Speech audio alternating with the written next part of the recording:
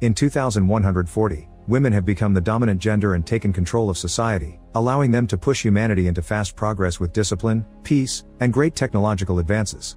Instead of living in cities, they've created a colony in the countryside, and an AI housekeeper takes care of all the chores like cooking, checking on the owner's health, and making new clothing for them.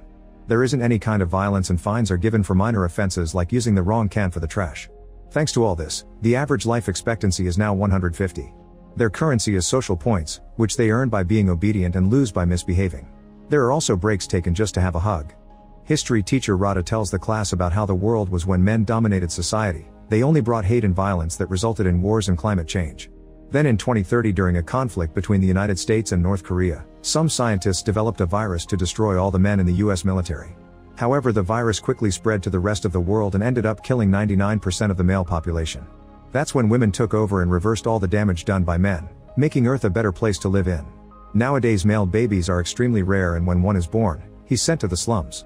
The male population is seen as apes for having little intelligence, being dirty, and only being interested in intercourse and violence. They also only live around 30 years. Mila is curious about the slums and Rada takes the girls on a class trip.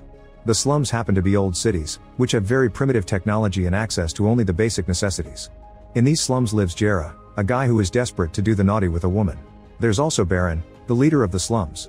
He wants to start an uprising against the women and often gives speeches to get the other guys to support him.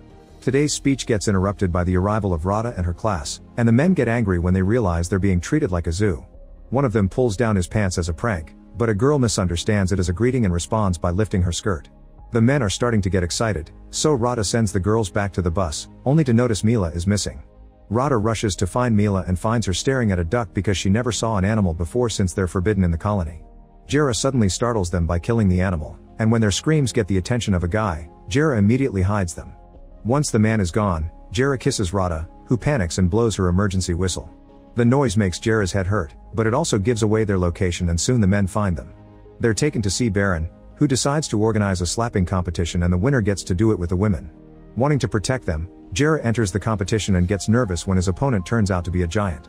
Jera's slap is weak and does nothing to the man, who immediately reacts with his own slap.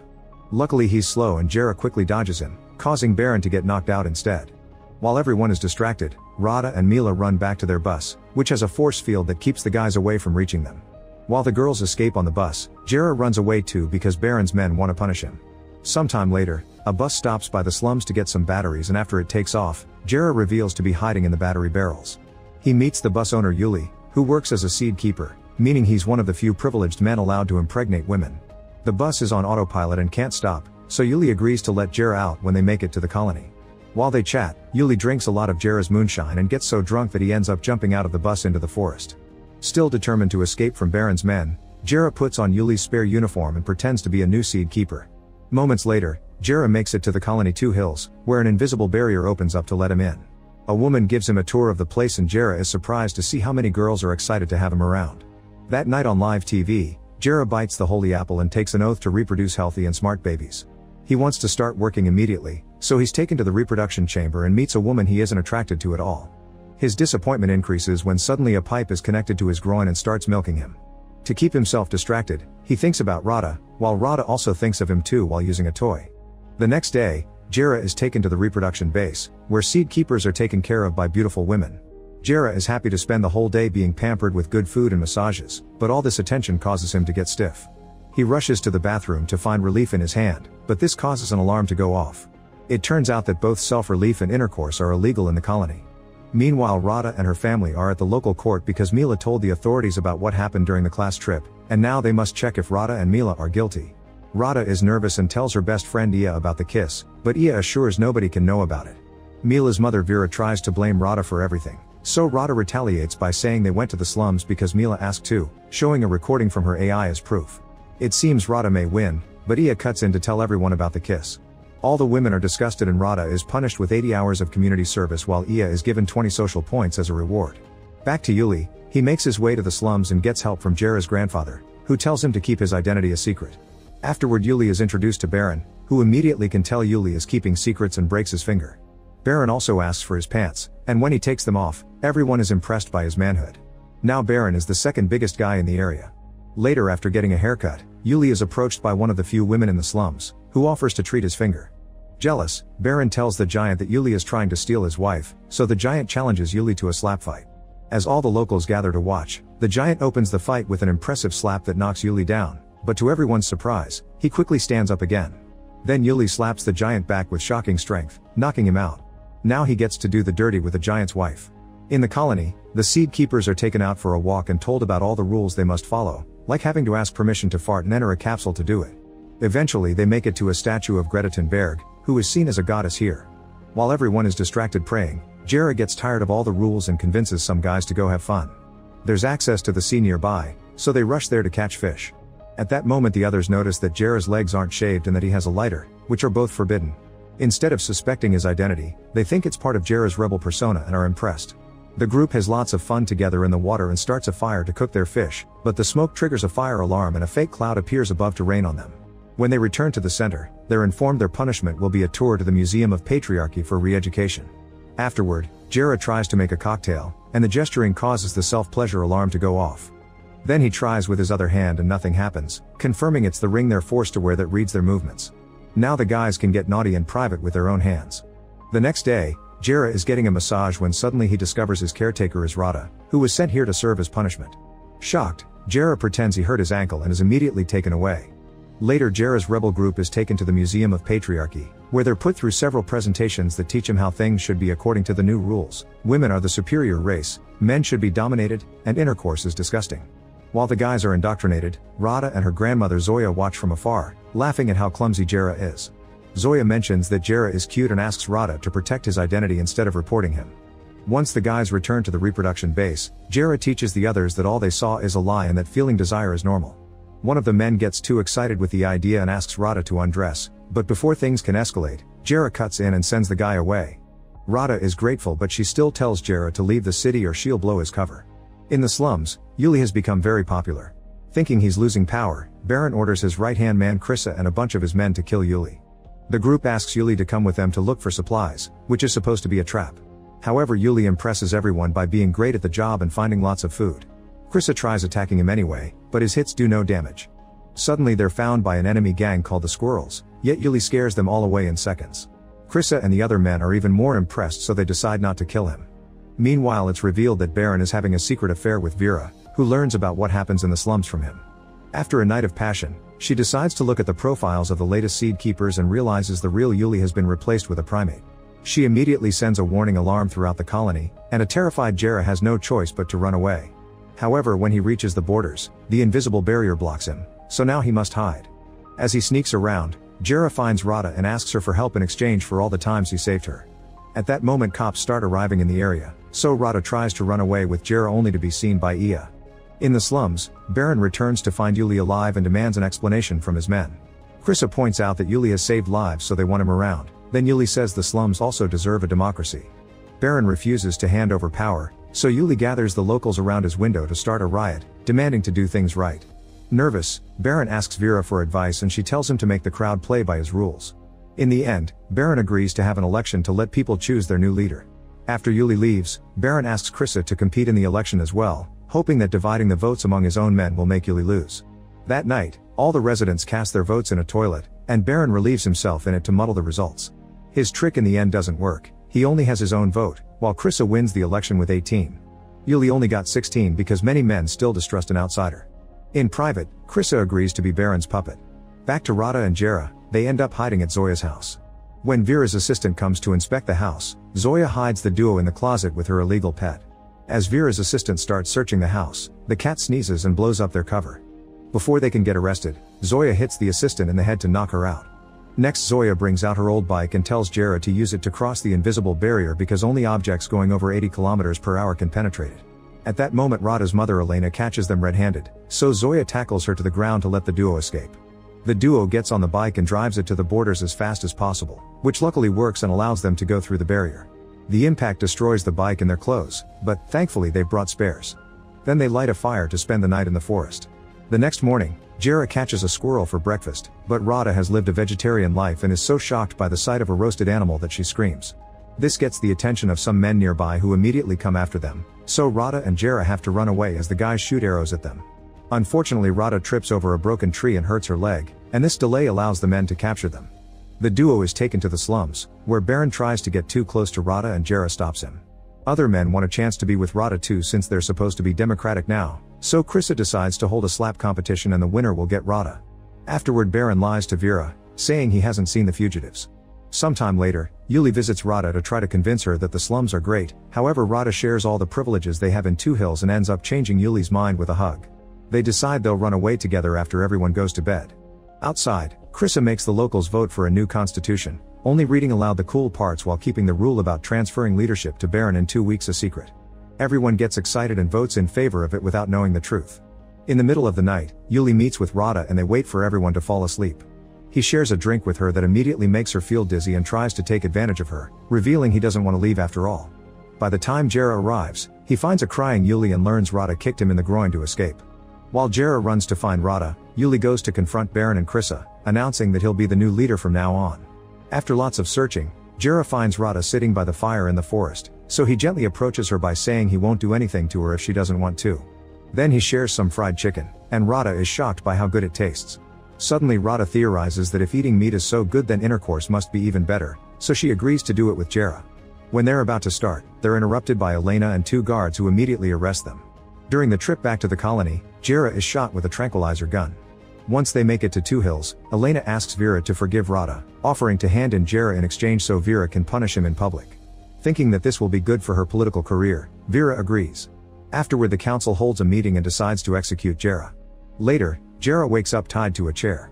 The women give him a special injection and ask him for his last wish, so Jera requests to say goodbye to Rada. Touched by these words, Rada runs to him and kisses him. Unfortunately this is only a vision he's having in a confinement room, where very advanced machines are being used to keep track of his thoughts. His fantasies are played on TV so everyone can learn how nasty men are, and the illusions even show ads. Meanwhile Ia goes to see Rada and shows her Jera's vision of their kiss, causing Rada to go to the other seed keepers and convince them to help her rescue Jera. Soon they all arrive at the council building to ask for Jera's freedom. At the same time, Jera is getting his second injection and sees a vision of a glowing wheel that decides his fate will be becoming a plastic bag so he's free to fly. Seeing this, the other seed keepers call out the women's cruelty and threaten to boycott the production of seed until Jera is released. Vera comes out and tries to prove that Jera is a primate who doesn't belong in civilization, but nobody believes her because his thoughts are gentle, like the vision he's now having of Rada and himself in the ending of Titanic. Not wanting to lose the seed production, Vera offers to free Jera but only if someone takes responsibility for him and his future actions, and Rada volunteers to do so, taking an oath on an apple. Elena does the same thing to protect her daughter. Afterward Rada goes to the execution chamber and finally brings Jera out to then take him to a guest house. Jera tries to use the chance to get busy with her, but Rada walks away because she isn't in the mood after all this mess. Moments later, Rada comes back and kisses Jera before they finally get busy. However as soon as they're done, Rada goes to the bathroom to use a toy to finish. Jera follows her and tries to apologize for having failed her, only to suddenly wake up and realize it was all a dream. While Jera tries to understand all the machines around the house, Rada and Elena come to explain a few things. They've got him 300 social points in his ring. If he breaks the rules, he'll lose points, and if he reaches zero all of them will be punished. Jera immediately loses 13 points for not finishing his breakfast and using foul language. Rada and Jera leave together for the day and walk around the colony, where Jera keeps being discriminated against for being a primate. They end up joining a volleyball game, but Jera's competitive spirit isn't normal around here and causes the girls to fight each other. Meanwhile Elena decides to run for colony leader in the upcoming election and starts by buying the seed keepers votes. She brings them lots of gifts and promises to make intercourse legal if she wins, showing them her chest to prove it. In the slums, Yuli finds a letter from Jera, who explains he ran away with Rada. Furious, Yuli breaks a table and gets drunk. While fooling around in Baron's office, he finds a weird lock and destroys it to find the ring Baron used to communicate with Vera. Suddenly the power goes out and everyone goes to Yuli for a solution. When he hears that Baron had contacts in the city, he tries the ring and talks to Vera, who immediately hangs up on him. At that moment a bee flies by and Yuli immediately follows it to find the beehive. Honey is rare nowadays, so Julius brings the hive down to fill a jar, and the bees end up stinging him multiple times. In the evening he meets with Vera and gives her the honey, but instead of asking for electricity, he asks to be sent back to Two Hills. Nearby, Baron and Krissa are scavenging for food and end up finding a car plus a skeleton with a gun. Then they fix the power and return to the slums, where they regain power thanks to the gun. When the squirrels come by to pick up a fight, Baron tries to stop them with his gun, but they have bigger weapons and aren't scared. To make them leave, Baron lets them have Krissa. In the meantime, Elena makes Jera help a dead bird's eggs hatch to improve his reputation with the local women as part of her campaign.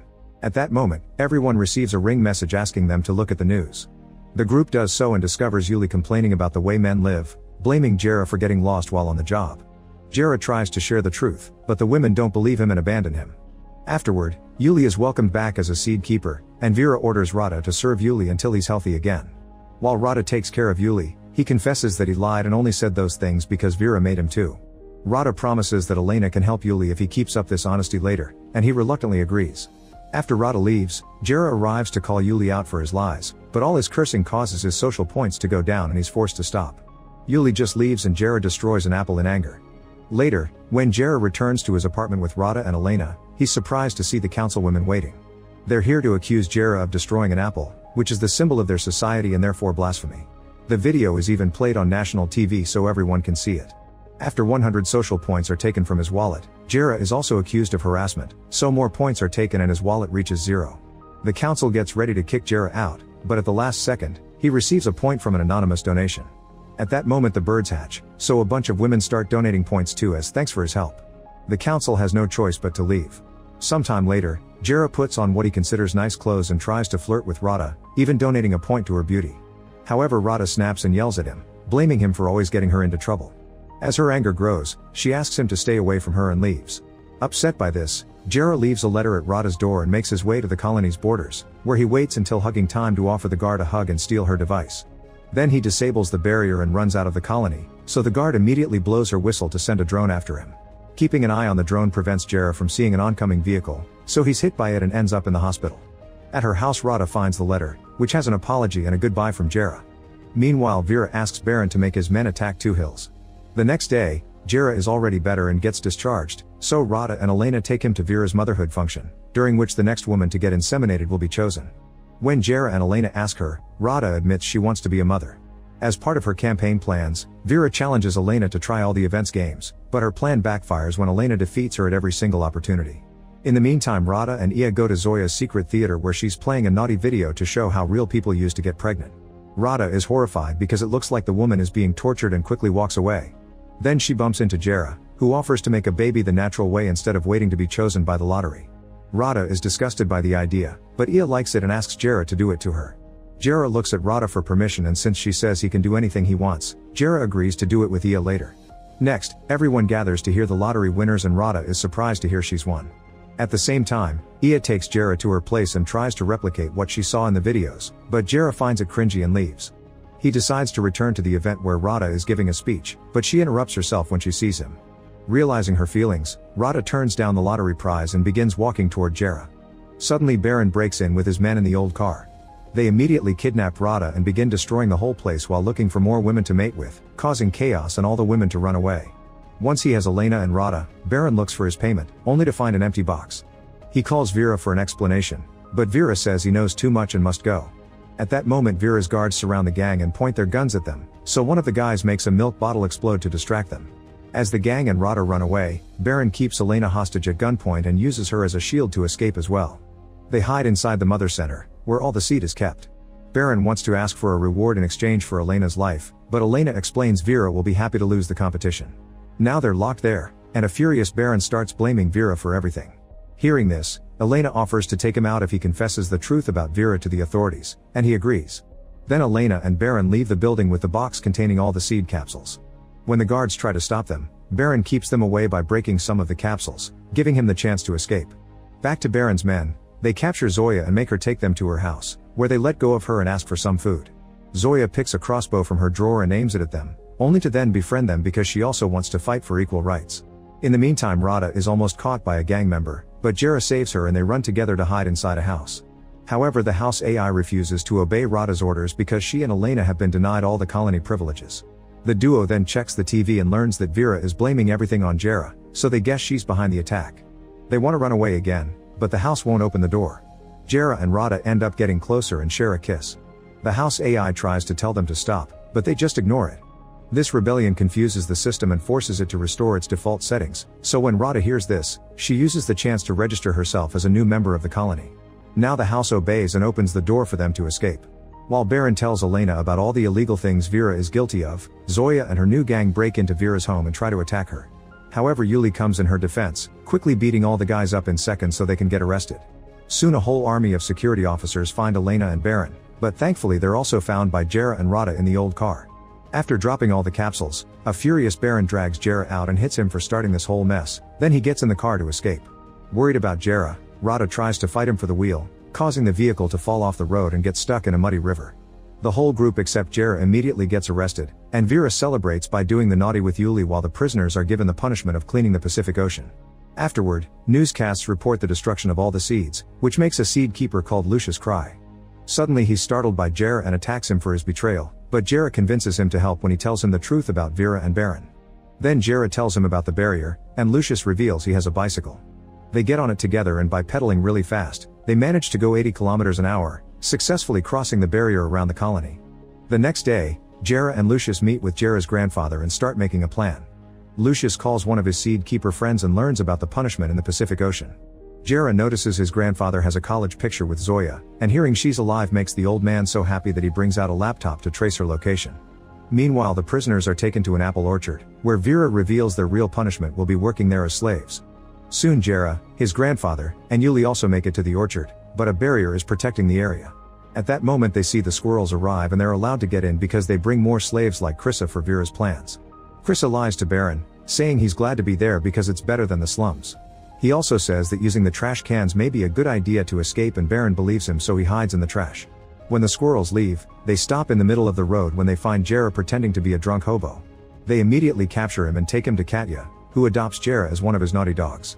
Later Katya takes all his dogs with her to visit Vera at the orchard, and the dogs are tied up outside while the women share dinner. Jera sees Rada and gives her Lucius ring so she can record the crimes happening here. In the evening while Vera and Katya have a party with the dogs, Rada sneaks into their tent and tries to record everything. However the party is interrupted when Yuli recognizes Jera because of his tattoo. Vera pushes him away in disgust and the movement moves away the curtains, revealing Rada as well. The guards immediately take them both outside and take the ring, only to discover a few pictures of the party did reach the colony.